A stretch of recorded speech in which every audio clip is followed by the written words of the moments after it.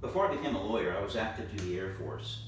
While I was in the Air Force, Donald Rumsfeld uh, took a lot of heat for saying something. He, he talked about the things that we don't know. He said, There's things that we don't know that we don't know. Well, he took a lot of heat for that. But this really applies to tax sales.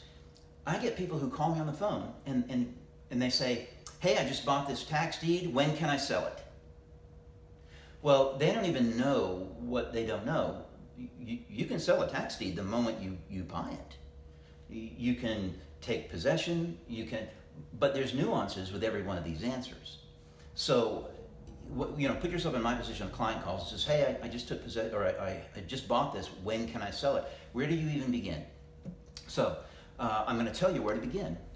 Go to um, Elite Education. They've got a page called mybhamhouse.com, just like it sounds, mybhamhouse.com. Uh, they've got classes coming up.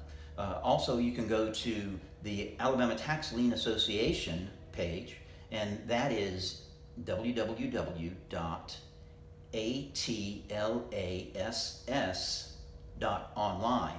So it's Atlas with two S's dot online, and um, find out what you don't know. Thanks.